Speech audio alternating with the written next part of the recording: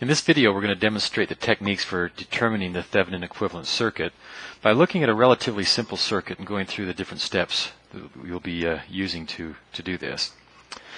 The first thing we need to determine is the open circuit voltage. The Thevenin voltage, or the voltage in our Thevenin model, consists of a Thevenin voltage, which we said, which we pointed out, is just the open circuit voltage. So in this case, we need to know what the voltage between A and B is with nothing connecting A and B. As you look at this, you can see then that the voltage, the open circuit voltage, is the voltage across R2. Now we can use any method we want to determine the voltage across R2. We could calculate the current through running through these, which because this is open circuit, we should point out, there is no current going through that branch. That means that these two resistors are in series, and by definition the current is going to be the same through both of them. So we could calculate the current through those two resistors, and then multiply R2 by that by that current, and that would give us the open circuit voltage, the voltage across R2. We could also use our voltage divider, which was developed. We derived that voltage divider formula by taking advantage of the fact that those two resistors were in series. So let's just do that. V open circuit is equal to then V sub s times R2 over R1 plus R2. For this circuit, that is our V Thevenin. So to get the open circuit voltage, use any of the voltage, any of the circuit analysis techniques that you have to determine the voltage across the open terminals. Next, we need to determine the Thevenin resistance. And at that point, we will have our Thevenin equivalent circuit. Now we're going to see that there are at least three different methods for determining the Thevenin resistance, and we're going to demonstrate each of those models on this simple circuit.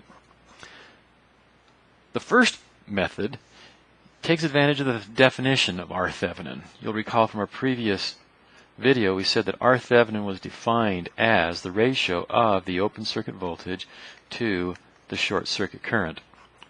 Now in the previous slide, we determined that the open circuit voltage was just the voltage across R2 in this case, which was V sub S times R2 over R1 plus R2. Now we need to determine what the short circuit current is. By short circuit current we mean if we short put a wire between the two terminals A and B, and then determine what that current is that flows through that short circuit. That's the short circuit current. Well, in this case, the short circuit pulls the voltage here to zero, so there would be no current going through R2. And the short circuit current then is simply the current that would be flowing through R1, or I short circuit is equal to V sub S divided by R1. So you, then using this first method, method 1, we say then that the open that the R Thevenin is equal to the ratio of the open circuit voltage to short circuit current. We form that and say then the R Thevenin is equal to V open circuit divided by I short circuit, which is equal to V sub S times R2 over R1 plus R2 that's our open circuit voltage, divided by the short circuit current, which is V sub S over R1. Well, the V sub S's cancel. We take this 1 over R1 in the denominator, invert and multiply, and we get then that R Thevenin is equal to R1 R2 over R1 plus R2. So the first method, which always works, least it works if you've got an independent source in the circuit that you're attempting to model. Method one then is to determine the open circuit voltage and the short circuit current using tip, using any circuit analysis method you'd like, and then forming the ratio of the open circuit voltage to the short circuit current. The second method works when all you have, or the only types of sources you have, are independent sources. It works only with independent sources. And in this method, or to, to apply this method, we deactivate any of the sources, any sources present. And by deactivate, we mean the same thing that we did back when we were talking about superposition. When you deactivate a voltage source, you turn the voltage source to zero. Or in this case, or a voltage source turned to zero is effectively a short circuit. So having deactivated the, the independent sources present, we then calculate the resistance seen looking back into the circuit. Well, looking back into it, with this point pulled to ground by deactivating the voltage source, we see then that R1 and R2 are in parallel with each other.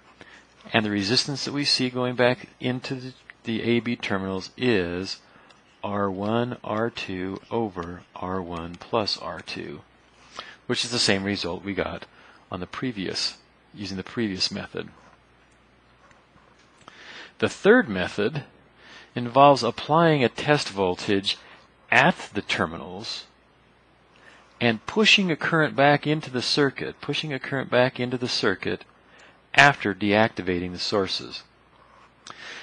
This is somewhat like going back to our powertrain analogy or, or a, uh, an automobile analogy.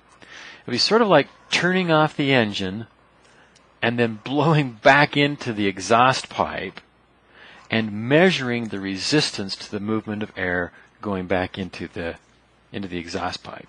So, method 3, deactivate the independent sources. If you have dependent sources present, don't deactivate them. Deactivate just the independent sources. And then apply a test voltage We'll call it V test, VT for test. That's not the Thevenin voltage, it's V test.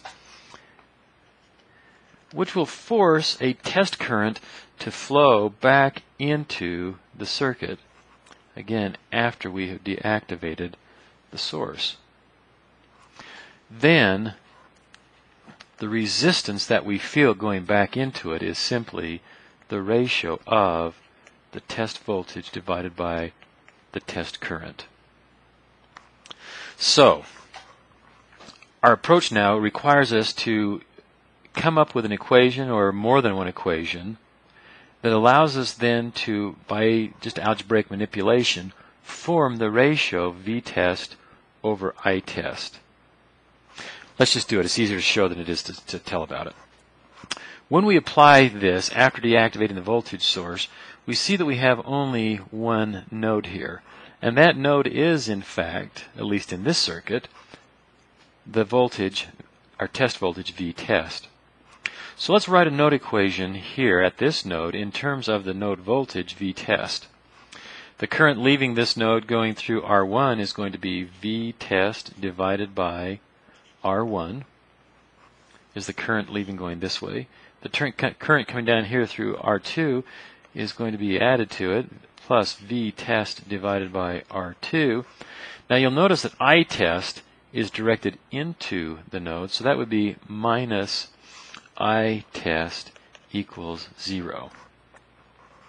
Now let's factor out the common V test here, times 1 over R1 plus 1 over R2, and take I test to the other side as a positive I test. Getting a common denominator, we have then V test times R1 plus R2 over R1 times R2 is equal to I test. Now that we've got a factor of V test on this side, I test on that side, divide both sides by I test, divide both sides by this term here, and we get then that V test over I test which is our R Thevenin, is equal to R1, R2 over R1 plus R2, which is the same resistance that we determined through the other two methods. So again, this approach drives home the idea that what this Thevenin resistance represents is the restriction or the resistance seen looking back into the terminals of our circuit. Let's review then. Determining, we find the open circuit voltage using any method of circuit analysis we want. We We then use one of three methods to determine R Thevenin. The first method works when you have at least one independent source present. Method 1 then is to short between the output terminals and determine the short circuit current and then form the ratio V open circuit divided by I short circuit. That's method 1. Method 2 works only if you have independent sources. And with only independent sources present, deactivate the independent sources. In this case, we had a voltage source that we shorted out. Had it been a current source, we would have open circuited that current source and then determined the resistance, the equivalent resistance seen looking back in from A to B. Method 2 works only if independent sources are present. Method 3 works no matter whether you have uh, works when you have both independent and dependent sources.